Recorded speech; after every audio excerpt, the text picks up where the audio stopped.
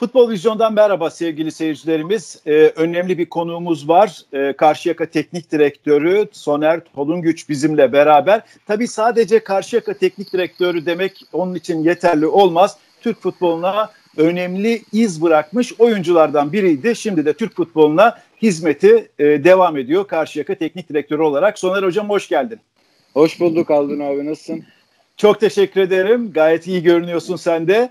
Ee, Soner Hocam e, şimdi tabii e, kulüplerimizin maddi yönden sıkıntıya girmesi biraz gözlerini aşağıya doğru çevirmesine neden oldu. Bunu Fenerbahçe'de de görüyoruz, Galatasaray'da da görüyoruz, Trabzonspor'da da görüyoruz. Bu kez Beşiktaş'ta yine gözünü bir alt lige doğru çevirdi, alt liglere doğru ve sizin öğrenciniz olan e, bir oyuncuyu e, Doğukan İnci'yi takibine aldı. Hatta takibine aldı demeyelim. Yani anladığım kadarıyla 2023'e kadar sözleşmesi var ama iş sanki böyle söz kesilmiş gibi bir durum var. Yani Beşiktaş'la ilgili. Sizden e, Doğukan'la ilgili biraz bilgi almak istiyoruz hocam. E, yani Do- bir genel evet. olarak bir tanıtırsanız bize evet. çok seviniriz. Doğru söylüyorsun Haldun abi. Öncesinden başlayayım. Kulüplerin e, bu fırtınaya çok dayanamayacağını biliyorduk ekonomik olarak. Özellikle lokomotif kulüplerimizin bu e, bu şartlarda artık alt liglere yöneleceğini ve gençleşmeye doğru gidecekleri ve yetenekli oyuncuları bünyelerine katacaklarını biliyorduk. E, bu zaten siz de programlarınızda e, bunu değiniyorsunuz, konuşuyorsunuz. Gerçekten yetenekli oyuncu sayısı çok Türkiye'de. Bunlara gerekli doğru eğitimi ve e, özgüveni verdikten sonra e, Türk futbolcusu her şeyi yapabilecek kaliteye sahip. E, Doğukan İnci ile de ilgili gerçekten e, ben 2016'da yine birinci dönem Karşıyaka'da görev alırken altyapıdaydı. Onu gördüm ve A takımı aldım. 2017'de profesyonel yaptık. E, bu süreç içerisinde kendini geliştirdi. Zaten çok farklı özellikleri vardı. E, bütün e, bu senede pik yaptı. Çok iyi bir duruma geldi oyunsal anlamda. Çok geliştirdi kendini. Sonuç anlamında da çok geliştirdi. Ee, şöyle söyleyeyim gerçekten çok e, yetenekleri enteresan bir oyuncu. Çok topla dikine gidebilen, ucumsal yönünde e, topla buluştuğu anda yüzü rakip kaleye dönük olduğunda e, çok çabuk akabilen bir oyuncu. E, hem çabuk hem aniden durabilen özelliğe sahip. Her iki ayağını kullanıyor. içeri dışarı e, kat edebiliyor. Ve e, muhteşem bir ceza sahası dışından e, şutları oluyor. E, dolayısıyla artık bu lig için e, Doğukan gelişimini e, tamamladı e, diye düşünüyoruz. Tabii ki eksikleri var. E, her şeyden evvel e, büyük bir takıma yolculuğu başladığında kendini biraz daha e, geliştirmesi ve çalışması e, ve hiç durmaması gerekir.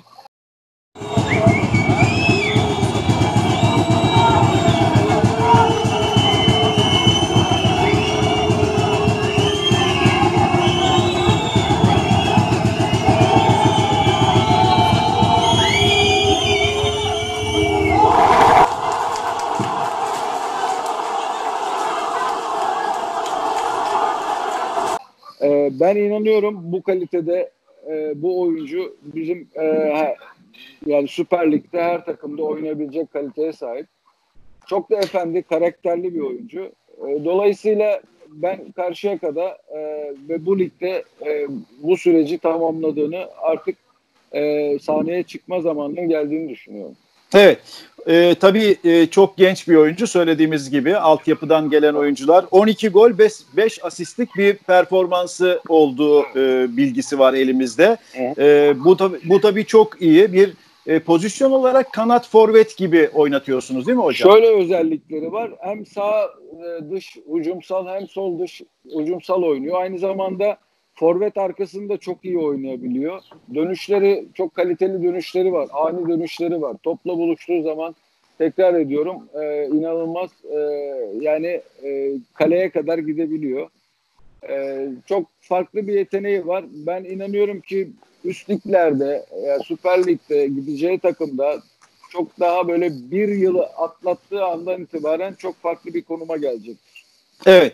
Hocam bir de şeyi soracağım. Tabii genelde siz büyük takımlarda oynadığınız için hep şöyle bir soru işareti var. Yani oradan gelir büyük takımda oynar mı e, diye. Şimdi bir oyuncunun bir ışığı vardır. Yani büyük takım oynama. Tabii ki gittiği gün hemen takıma girecek, e, oynayacak değil belki ama evet. yani o ışık var değil mi hocam onda? Bir büyük takımda onda yani Beşiktaş'ta.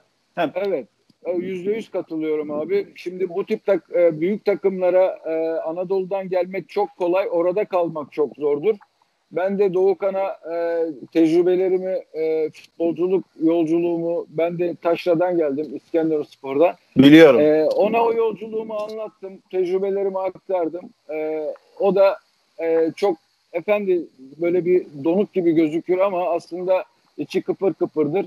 E, kendini doğru ifade edebildiğinde, e, gideceği kulüpte onu e, kendi içerisinde kabulleneceğine ve ona e, yatırım yapabileceğine e, ve sosyal açıdan da geliştireceği zamanda futbolla birlikte bütünleştiğinde bence çok kalıcı olacaktır. Evet.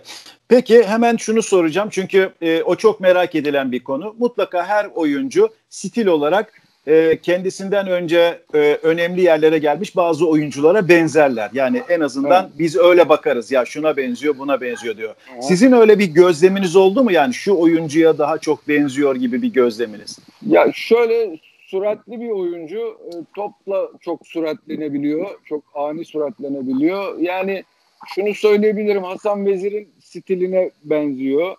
Ee, böyle ileride sürekli şekilde topla e, kolay kolay e, rakibini e, sprintle topla birlikte geçebiliyor. 2-3 kişiyi eksiltebiliyor.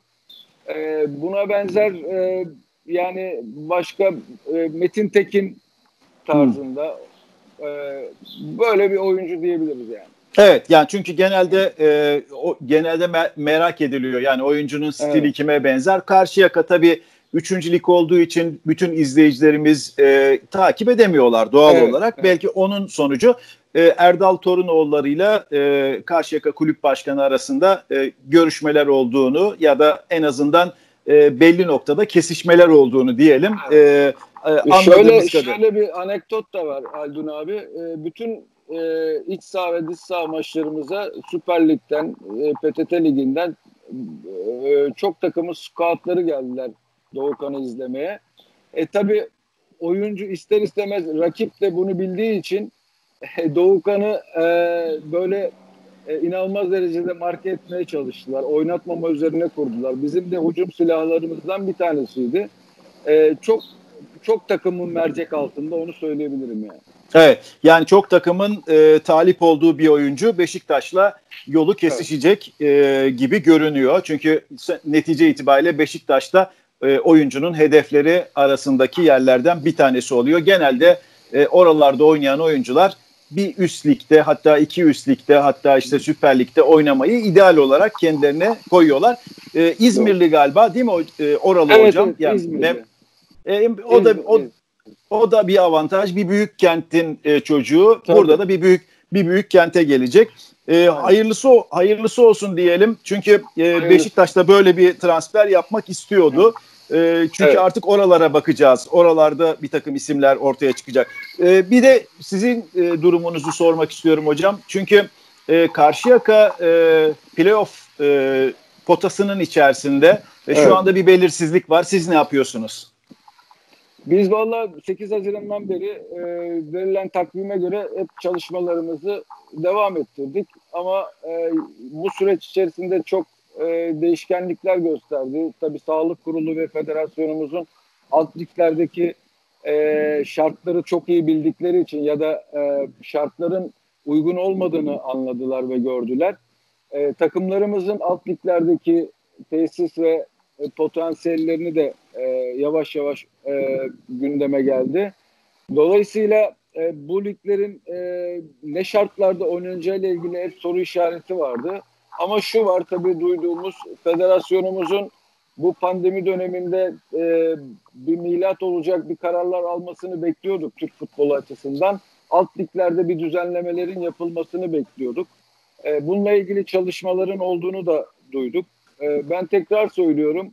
E, yani e, ülke ekonomimizin şartları, büyük kulüplerimizin bulunduğu mali e, durumlardan dolayı Avrupa'daki makasın çok açıldığını söylemek yanlış olmaz herhalde. E, onların parasıyla mücadele etmemiz e, zor gibi gözüküyor. Doğru. E, dolayısıyla bizim e, nasıl e, kendi değerlerimiz kendi içimizden çıktıysa e, işte lokomotif takımlarımızda yerli oyuncu bunu Trabzonspor son iki senede başardıysa kalecisinden e, forvetine kadar olan genç oyunculara yatırım yapıp Avrupa'ya ihraç ettiyse bunu büyük takımlarımız da yavaş yavaş bunu Beşiktaş başlattı bu sene. Ee, işte Galatasaray, Fenerbahçe, işte Fenerbahçe'nin Gölcük'ten aldığı futbolcu, Galatasaray evet, İsmail Yüksek'i aldı. Futbolcu. Bu Kerem, demektir evet. ki kendi e, çocuklarımıza güvenirsek ve ne kadar çok takım ligde olursa çoğaltabilirsek İngiltere'deki gibi, İspanya'daki gibi e, bu kadar çok futbolcu değerler çıkacak demektir. E, zaman zaman duyuyorum takım sayılarını azaltalım diye. E, bu kadar çok yabancının olduğu yerde e, hem takım sayısının az olması birçok oyuncunun altyapıdan yetişip 20 yaşında mesleksiz bir şekilde dışarıda kalmasını e, öngörüyorum. E, bu çocuklara yazık.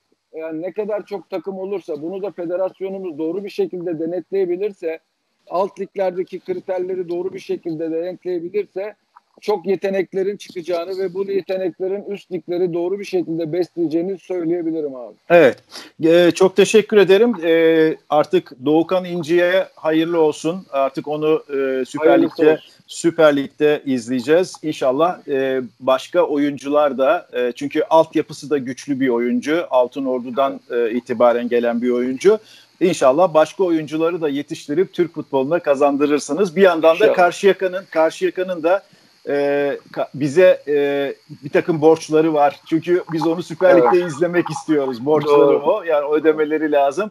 Karşıyaka gibi, Altay gibi, e, Altınordu gibi, Göztepe gibi takımların da Süper Lig'de temsil edilmesi hepimizi mutlu eder. Çok teşekkür ederim Soner Ben Hocam. teşekkür ederim abi. İyi yayınlar. Sağ ol. Teşekkürler. Sağ ol.